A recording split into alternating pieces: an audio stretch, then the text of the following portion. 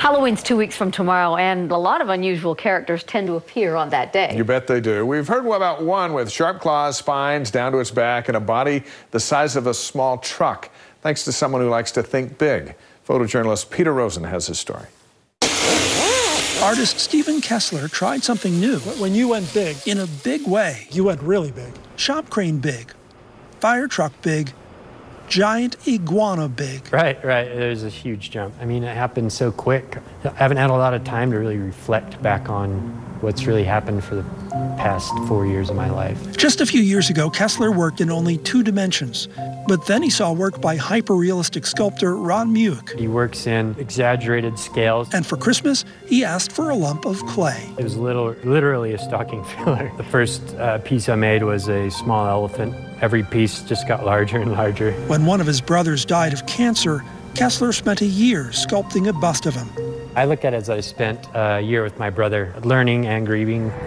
And when an aquarium came to town, Kessler, the whale shark, who wears his love of marine life on his skin, giant squid versus sperm whale, manta rays that cover my back, got involved and eventually earned a commission. Standing underneath one of these is humbling. For a whale shark. Almost overwhelming. That led to eight foot leatherback turtle, poison dart frog, giant squid, four manta rays, even bigger things. We have 50 foot humpback whale, a 19 foot calf. So, what's it like to sculpt a whale? It's like sculpting a wall.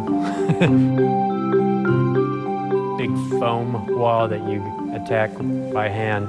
A lot of these I did because I wanted to see them too. Like I wanted to walk underneath a whale shark in ray, and I wanted to walk underneath the humpback. Every time I see it, I, it still seems big to me. What are you doing?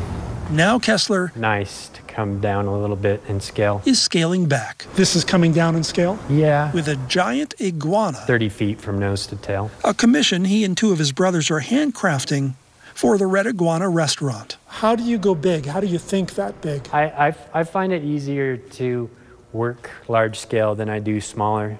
Easier for me to envision how I'm going to approach something just walking around it.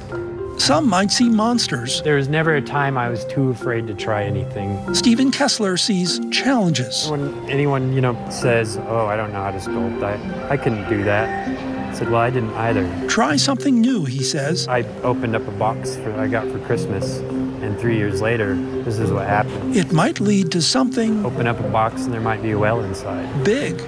Really, really big. Peter Rosen, KSL 5 News. Peter, thank you. That